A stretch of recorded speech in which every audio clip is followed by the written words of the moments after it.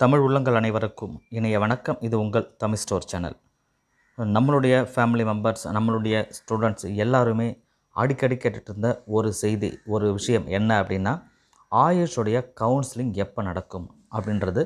ரெண்டாவது counselling counselling schedule டேட்லாம் எப்போ கொடுப்பாங்க அப்படின்னு சொல்லி கேட்டுட்டு இருந்தாங்க ஸோ அதற்குண்டான விடை தான் இன்றைக்கான வீடியோ எல்லா நிறைய பேர் வந்து ரொம்ப நாளாகவே கேட்டுட்டு இருந்த ஒரு விஷயம் சொன்னால் கண்டிப்பாக இந்த ஆயுஷ் கோர்சஸ் தான். நிறைய பேர் எதிர்பார்த்துட்டு இருக்கிற ஒரு ஒரு முக்கியமான ஒரு கவுன்சிலிங் கண்டிப்பாக இது.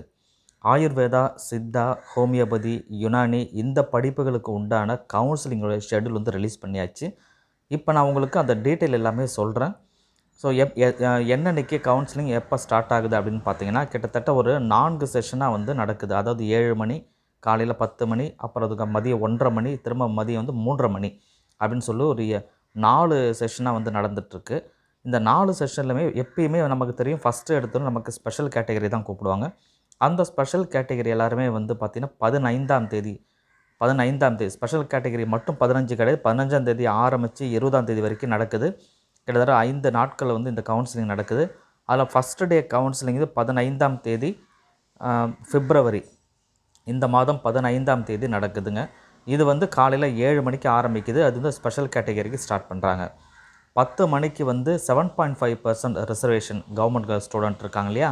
அவங்களுக்கு காலையில் பத்து மணிக்கு நடக்குது. திரும்ப வந்து ஒன்றரை மணிலேருந்து கண்டினியூவாக வந்து ஜென்ரல் ரேங்க்கில் இருக்கிறவங்களுக்கு எல்லாருக்கும் நடக்கும். இது வந்து காலையில் ஏழு பதினஞ்சாந்தேதி காலையில் ஏழு மணிக்கு ஸ்பெஷல் கேட்டகரி பத்து மணிக்கு seven point five reservation government student quota அதுக்கப்புறம் ஒன்றரை மணிக்கு ஜென்ரல் ரேங்க்கு ஒன்றுலேருந்து நூற்றி ஒன்று வரைக்கும் ஸ்டார்ட் ஆகுது ஃபஸ்ட்டு அதுக்கப்புறம் திரும்ப மூன்றரை மணிக்கு வந்து ஜென்ரல் ரேங்க் வந்து நூற்றி ரெண்டுலேருந்து இரநூத்தி மூணு வரைக்குமே ஸ்டார்ட் ஆகுது. அவங்களுடைய மார்க் வந்து நானூற்றி தொண்ணூத்தொன்னுலேருந்து நானூற்றி எழுபத்தி மூணு வரைக்கும் இருக்குது. ஸோ இது வந்து பதினைந்தாம் தேதி.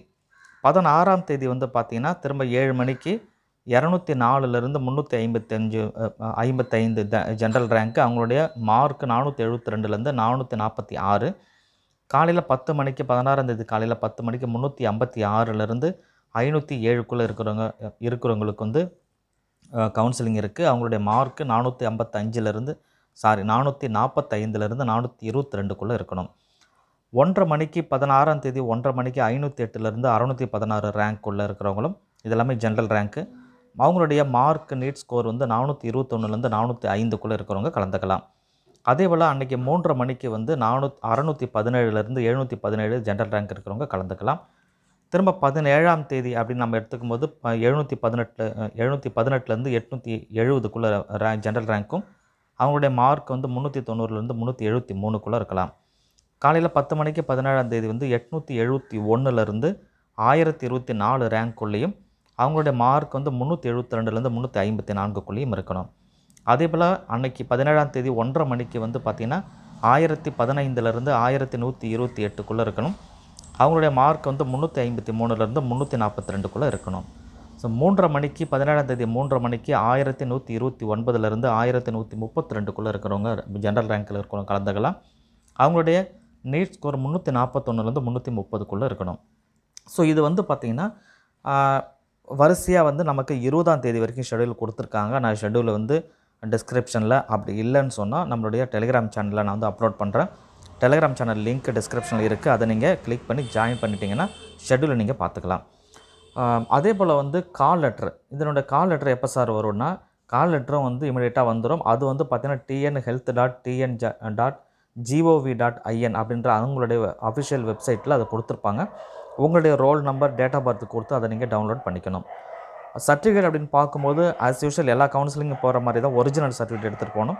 Tenth mark sheet eleventh mark sheet TC nativity certificate community certificate first graduate certificate இது எல்லாமே கம்பல்சரி தேவை. அதே போல் இன்கம் சர்டிஃபிகேட் இருந்தாலும் எடுத்துக்கலாம். இதெல்லாம் யார் யாருக்கு தேவையோ அவங்க கண்டிப்பாக அதை எடுத்துக்கணும்.